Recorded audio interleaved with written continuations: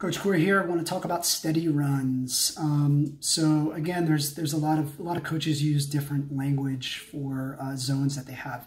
Steady steady zone for me is uh, is about an hour race pace to three hour race pace. So you know somewhere just under uh, marathon distance for most people.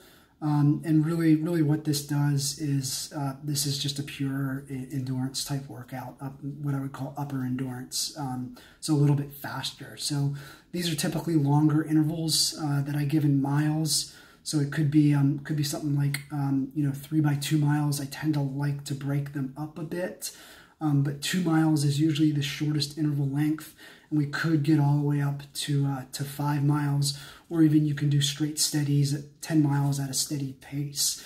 Um, and really, you know, this pace should feel fairly comfortable for you.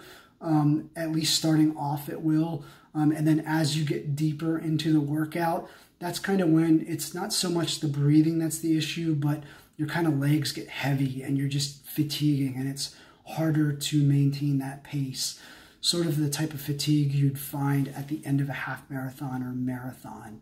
Um, so, you know, that's a steady run. It's really good training for, I'd say the best training is more for marathon training, but it also is good for, uh, for half marathons.